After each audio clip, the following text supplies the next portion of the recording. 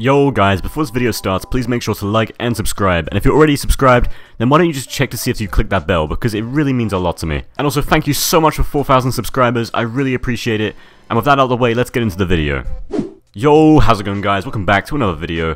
Today I'm going to be talking about what the best clicking method for Minecraft PvP is. So before this video starts, I just want to say this is obviously my opinion, so if you don't agree that's perfectly okay, you can just let me know in the comments section. I'll try and respond and tell you what my opinions are as well. Over this video, I'll be going over four of the most common clicking methods, which are normal clicking, butterfly clicking, jitter clicking, and drag clicking. For all of these methods, I'll be showing you exactly how to do them and what they look like in game. So to start off, we're going to do normal clicking. Normal clicking is the most common clicking method in Minecraft PvP. It's usually used by beginners, however there are still some very good PvPers out there who still use normal clicking. Stimpy would be a really good example for this, he's still able to get relatively high CPS just from normal clicking.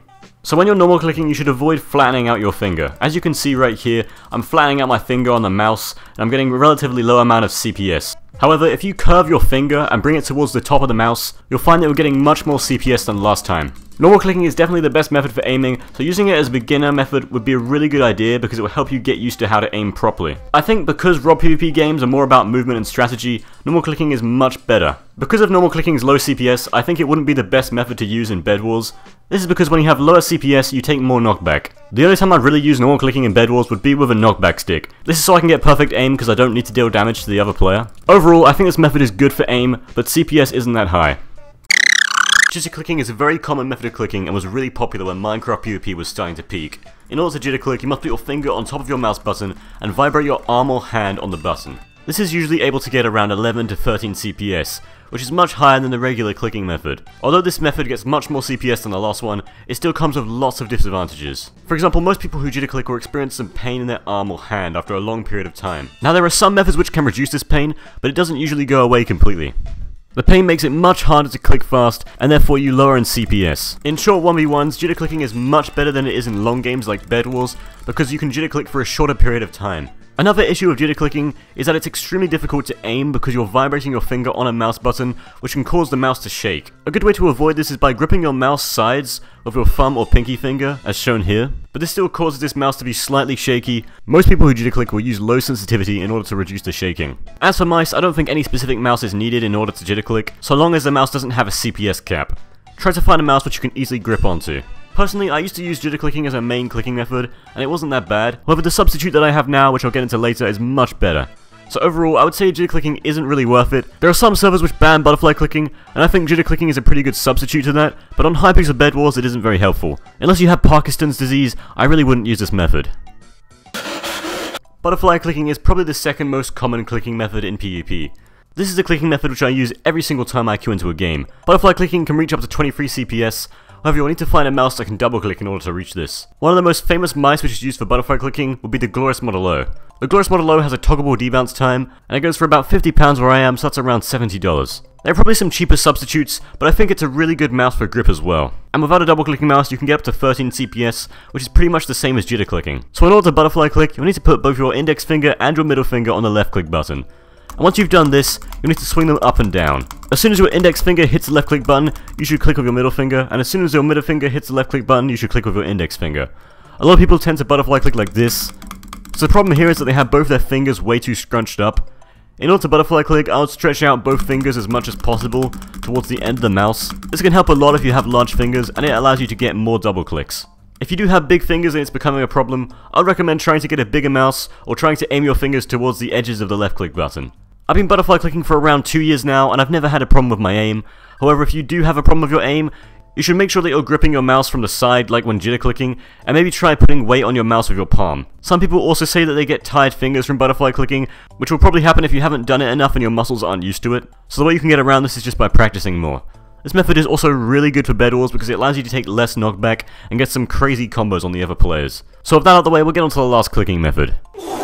Drag clicking is quite uncommon among new players, however it's becoming a serious skill among Bed Wars sweats. As of 2020, drag clicking has become increasingly popular. Out of all the clicking methods on this list, drag clicking will be the highest CPS. Because of its extremely high CPS, double clicking mouse is required in order to get the maximum CPS. With high debounce time, drag clicking is ultimately useless. Aiming whilst drag clicking is a very difficult skill to master, because if the mouse moves while drag clicking, it can mess up the clicks. And as for PvP, using this method of fighting is pretty bad. This is because drag clicking is done in bursts, which means that your opponent has a chance to land hits on you when you reach the end of your mouse. You need to have a good mouse to drag click. I wouldn't recommend the Model O because it isn't really designed for drag clicking.